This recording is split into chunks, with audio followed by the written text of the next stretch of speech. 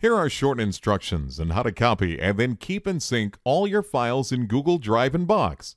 So all your files in Google Drive will be in Box, and all your files from Box will be in Google Drive.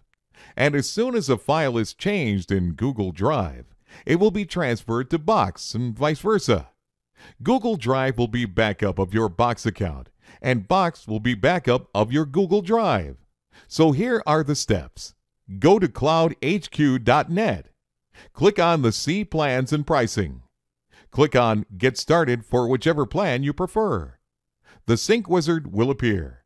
Now, just drag the Google Drive icon to the empty box on the left.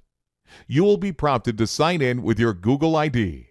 Click on Sign Up with Google Account, and you will be forwarded to the Google page. Click on Allow.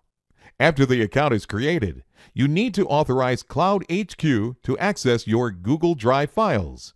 So click on Add Google Drive and you will be forwarded to the Google page to confirm that Cloud HQ can access your Google Drive files.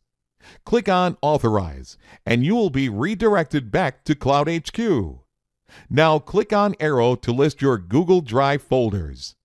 You can sync any folder from your Google Drive. For now, let's just click on the top level folder. This means Cloud HQ will replicate all files in your Google Drive. Click on Select to confirm your selection.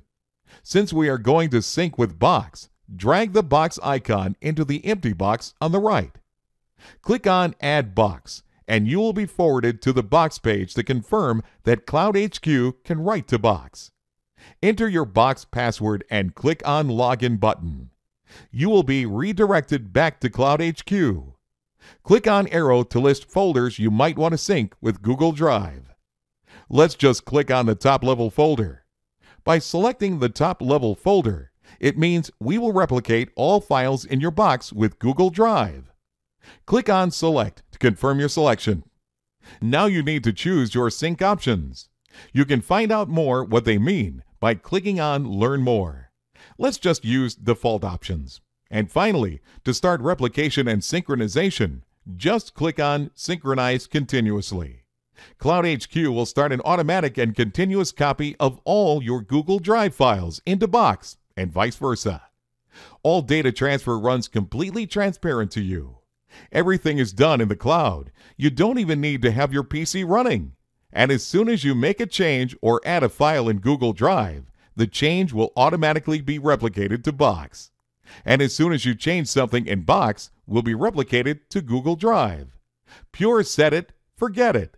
Cloud HQ. Sync your cloud.